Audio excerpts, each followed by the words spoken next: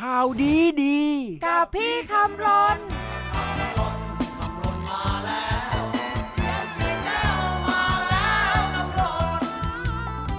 ตอนแอร์สัญชาติไทย ต่างชาติหน้าไหนก็กินเขาไม่ลงสตาร์แอร์ที่นนทบุรีนะ จะบอกให้ ในนามของสตาร์แอร์แอร์ Made in Thailand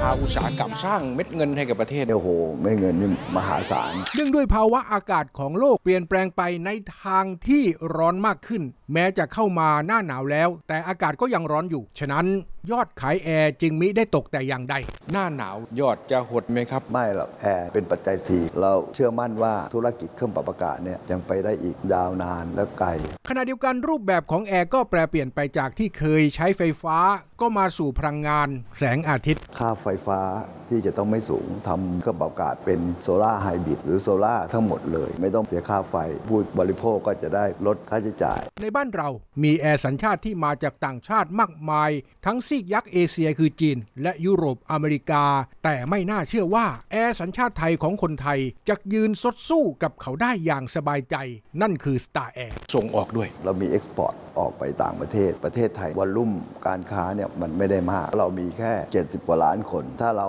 มีลูกค้าต่างประเทศเราจะมี volume มากขึ้น ยอดขายสูงขึ้นคำว่า Made in Thailand อดีตเราอาย เพราะคนไม่เชื่อถือ แต่หากปัจจุบันถ้าประทับตรา Made in Thailand เข้าไป ต่างชาติมั่นใจมาก เครื่องปรับอากาศถ้าตีเป็น Made in Thailand จะได้ความนิยมชมชอบมาก ไม่เหมือนเมื่อก่อนละเขาจะให้คุณค่าราคาที่ดีขายง่าย โอ้เขามั่นใจเนาะมั่นใจครับ แถมแอร์บางยี่ห้อของต่างชาติในบ้านเรา ก็ยังอาศัยชิ้นส่วนที่ผลิตจากแอร์ไทยในรูป OEM เพื่อลดต้นทุนการนำเข้า เราทำ OEM ให้กับอ่าหลาย ๆ แบรนด์อยู่ทำให้มัน grand ทำให้มันดีถูกใจกับผู้บริโภค ผู้ค้าขายกับเราอย่างยั่งยืนสตาร์แอร์สร้างเม็ดเงินให้ประเทศปีหนึงสามสี่พันล้าน สรุปให้ดี ๆ ดังนี้ดังนี้ว่าปีละไม่ต่ำกว่า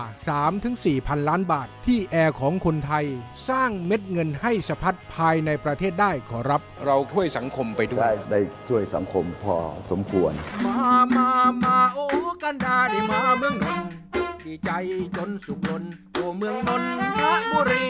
ผู้คนเขาเข้มแข็งขยันเต็มแรงกันล้นปรี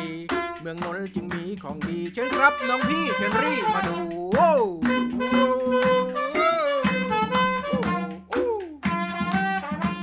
เอาดีๆกับพี่คำรณจำไว้ว่าคนไทยใจดีใจเย็น แถมยังผลิตแอร์เย็นๆ ออกไปขายได้ไม่แพ้ชาติไหนในโลกนี้นะ